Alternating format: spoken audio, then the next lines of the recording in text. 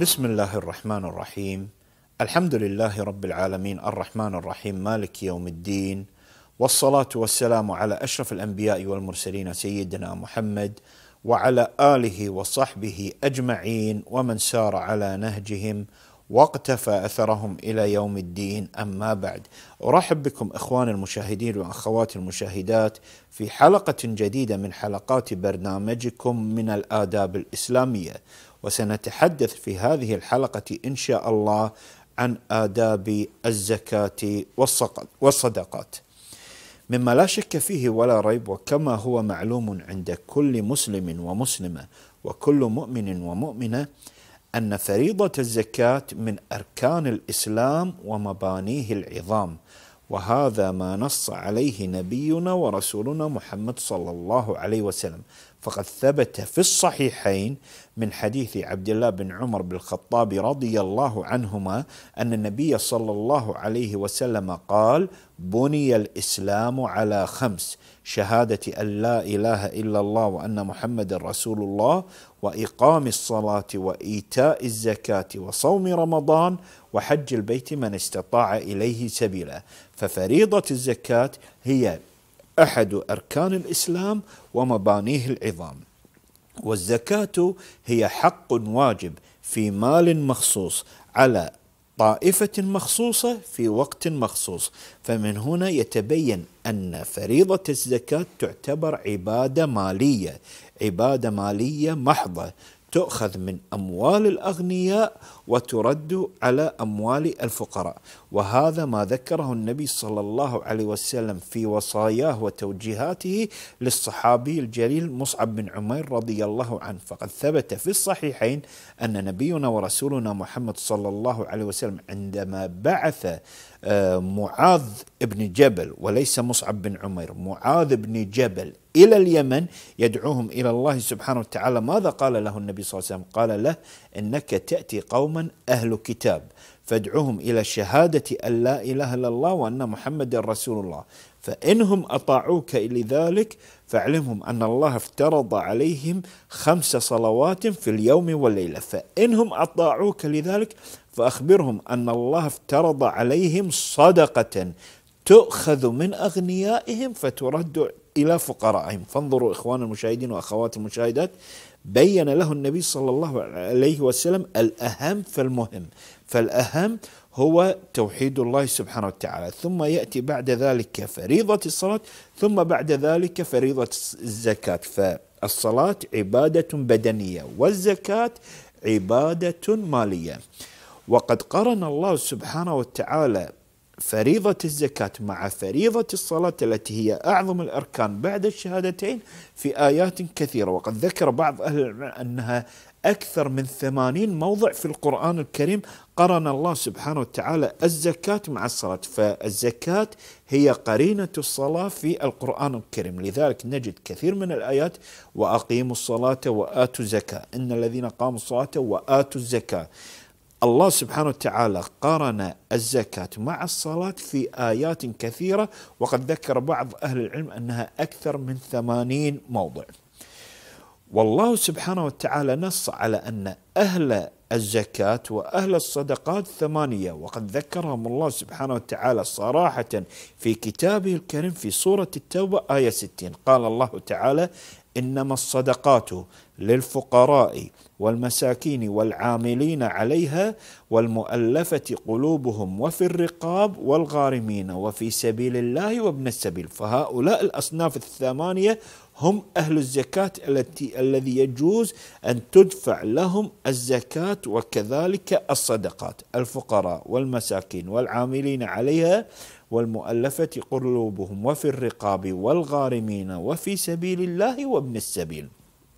فالزكاة عبادة مالية وهي عبادة يسيرة وهي عظيمة عند الله سبحانه وتعالى. وقد تساهل كثير من الناس في هذا الزمن وللأسف الشديد في دفع الزكاة وكذلك دفع الصدقات.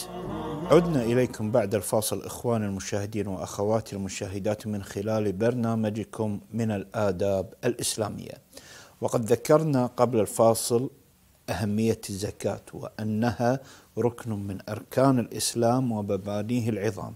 كذلك ذكرنا أنها عبادة مالية وأن هناك أصنافا ثمانية هم من تجوز دفع الزكاة لهم. وللزكاة والصدقات آداب ينبغي على كل مسلم ومسلمة ومؤمن ومؤمنة التحلي بها حال أدائه لهذه العبادة المالية العظيمة وهي الزكاة وهذه العبادة المستحبة وهي الصدقات.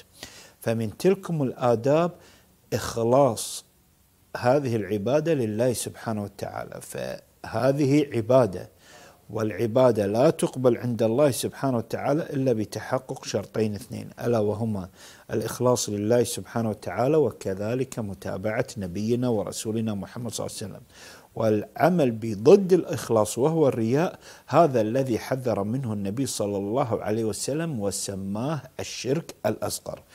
كذلك من الآداب التي ينبغي التحلي بها حال دفعه للزكاة وكذلك الصدقات أن يكون ذلك بغير من ولا أذى. وهذا ما حذر منه الله سبحانه وتعالى ونهى عنه في كتابه الكريم. قال الله تعالى يا أيها الذين آمنوا لا تبطلوا صدقاتكم بالمن والأذى فأنت تدفع هذا المال سواء كان فريضة كالزكاة أو نافلة كالصدقات لله سبحانه وتعالى.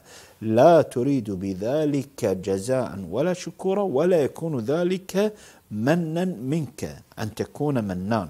فالله سبحانه وتعالى قال لا تبطلوا صدقاتكم بالمن والأذى. لا يكون ذلك من وإيذاء كذلك النبي صلى الله عليه وسلم حذر من ذلك. فقد ثبت في الحديث الصحيح في الصحيحين أن النبي صلى الله عليه وسلم قال ثلاثة لا ينظر الله إليهم ولا يزكيهم ولهم عذاب أليم وذكر منهم المنان فلا شك أن المنان حذر منه الله سبحانه وتعالى في كتابه وكذلك نبينا ورسولنا محمد صلى الله عليه وسلم. كذلك من الآداب التي ينبغي فعلها وخصوصا في باب الصدقات إخفاء الصدقات. لأن الله سبحانه وتعالى يحب إخفاء الصدقات. وكذلك حث على ذلك نبينا ورسولنا محمد صلى الله عليه وسلم. فقد ثبت الله سبحانه وتعالى قال في كتابه الكريم إن تبدوا الصدقات فنعما هي وإن تخفوها وتؤتوها الفقراء فهو خير لكم. فهنا الله سبحانه وتعالى ذكر أنه لا بأس بإبداء الصدقات ولكن إخفاؤها خير من إبدائها وإعلانها.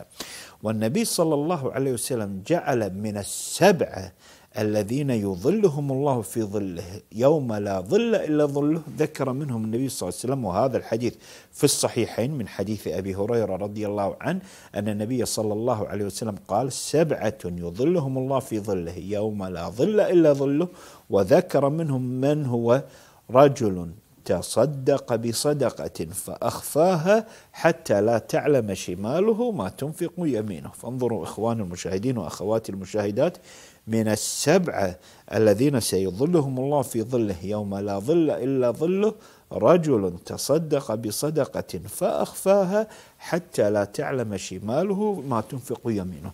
لأن في إخفاء الصدقة هو أقرب للإخلاص لله سبحانه وتعالى وأبعد عن الرياء.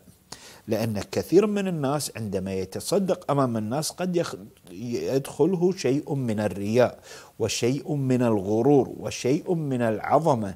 ففي إخفائها هو أقرب للإخلاص وكذلك أبعد عن الرياء إلا إذا ترتب على ذلك مصلحة.